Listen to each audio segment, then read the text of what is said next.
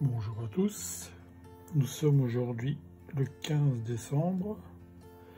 On se rapproche tout doucement du jour fatidique Noël. Donc nous allons ouvrir la case numéro 15.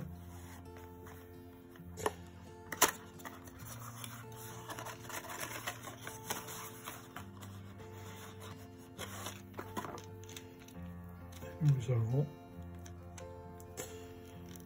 des ball bearings swivel, des émergents, une force de 105 kg, il y en a trois.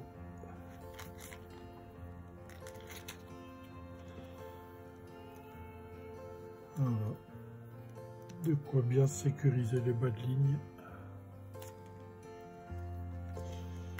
Voilà, c'était pour la case numéro 15. Je vous dis à bientôt.